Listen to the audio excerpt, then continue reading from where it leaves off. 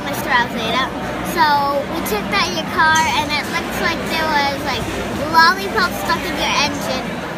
Oh no, are you serious? Yeah. Aw. It's okay. You'll get better.